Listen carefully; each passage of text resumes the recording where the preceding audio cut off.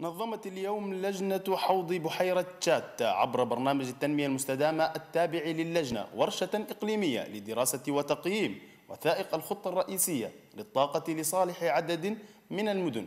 الورشة افتتح أعمالها أو افتتح أعمالها المدير الفني للجنة حوض بحيرة تشات تقرير آدم حسن مكاوي.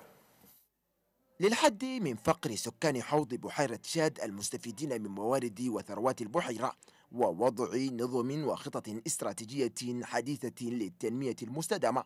هذا ما تهدف إليه هذه الورشة الإقليمية لدراسة وتقييم الخطة الرئيسية للطاقة الخشبية بكل من مدينة بانجي بجمهورية وسط إفريقيا ومدينة ديفا بجمهورية النيجر ومدينة ميدوغري بدولة نيجيريا وكذا مدينة أنجمينا.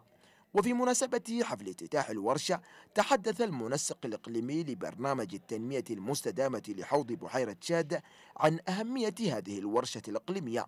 عملنا يعني دراسة عامة دراسة عامة آه، بتقص آه، خط آه، نشوف كيف استعمال هذا الخطب يعني أولم تعرفوا بيكون الزهفة السهرة ده يعني الحطب يعني بقشية والناس يعني نشوفوا يعني أشياء آخر تقدر يعني يعني تستعمل ها؟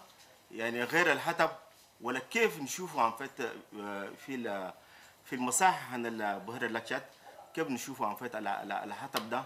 الناس يعني يقدروا يزرعوا وبيع مكان الناس يقدروا يقدروا يشيلوا منه. المدير الفني للجنة حوض بحيرة شاد بوبا كليمانا في كلمته الافتتاحية للورشة قال بأن الخطة تحتاج إلى التنسيق والتعاون المشترك لتنمية الطاقة الخشبية التي وصفها بالمورد الهام لسكان بحيرة تشاد وأن التغيير المناخي يقلل من موارد البحيرة لذا يجب وضع خطة استراتيجية محكمة للاستفادة من الحطب والمحافظة عليه في ذات الوقت ومن المتوقع أن يخرج المشاركون في الورشة خلال اليومين بنتائج وملاحظات وتعديلات تؤخذ بعين الاعتبار.